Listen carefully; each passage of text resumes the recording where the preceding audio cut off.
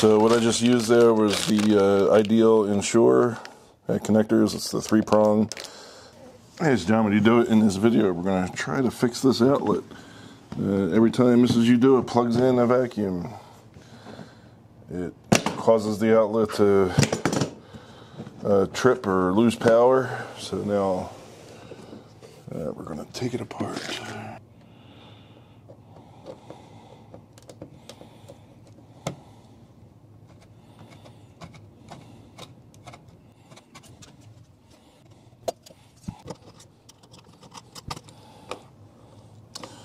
So now we need to inspect these wires here.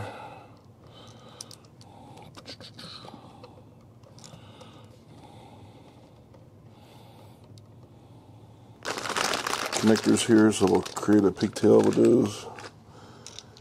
Um, so we just need two. Okay, so I'll bend this guy around. This will be for hooking up to the outlet. Right. Now we'll cut off a section for the pigtail. Okay, and then we'll insert that in here. I think. Yep.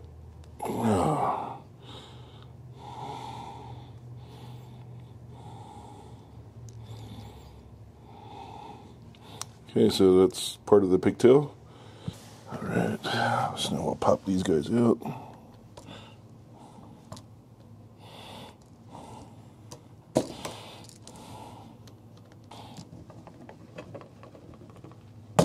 Oh my god.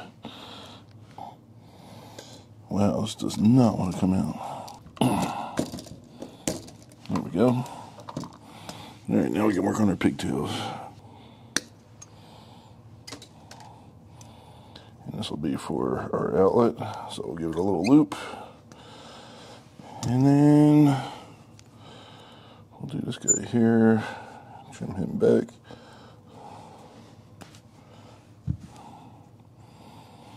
Alright, so then this will be for this guy. We got this guy. And we got this guy. Here we go. So there's our pigtail for our neutrals. We need our pigtail for our hot. Okay, so we got one and two. Good. Okay, so that's done. All right, so let's hook up our pigtail here.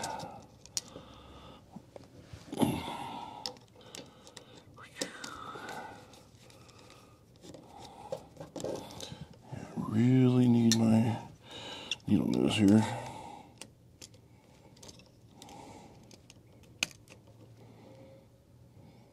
There we go. Got a good squeeze on that. Tighten this up.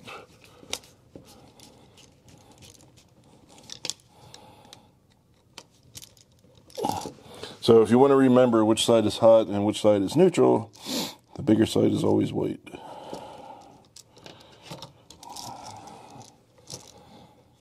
Okay, now we'll put this guy on here. Same way. On the same side. Jim.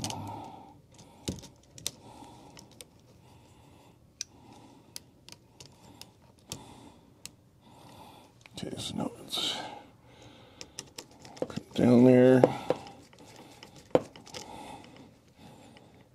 Let's make sure that's tight, and then we'll double check this. Oh, this guy was loose. Okay, it's a good thing we checked it. Okay, so now we'll stuff our wires in here, but first I'm going to tape them up. So what I just used there was the uh, Ideal In-Sure uh, connectors. It's the three prong uh, connector, so it's a push connect.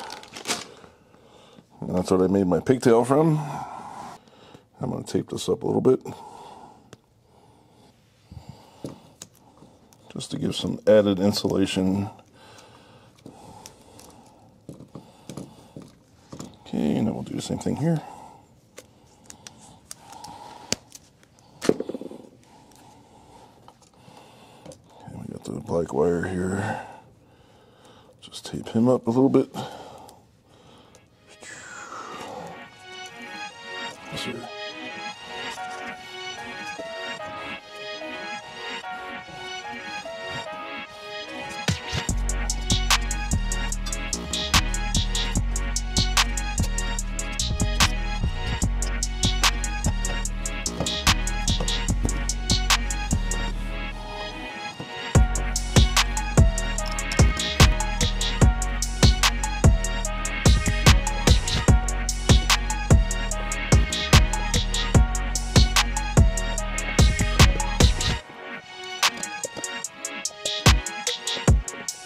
Now we're going to test it with this uh, electrical tester. I have two brand, I have two electrical testers from different brands.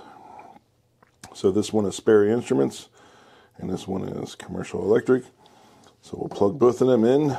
So there's the Commercial Electric, and that shows that they are correct wiring. And this is MS102H for the model number and it is ETL certified. This one here is Sperry Instruments, and you can see that when I plug it into both, uh, shows the same pattern that is correct. And this is UL listed, so Sperry Instruments. So yeah, get an electrical tester, but make sure it's a UL listed or ETL listed and then you can verify your outlets are wired correctly because it's really important, especially with GFI.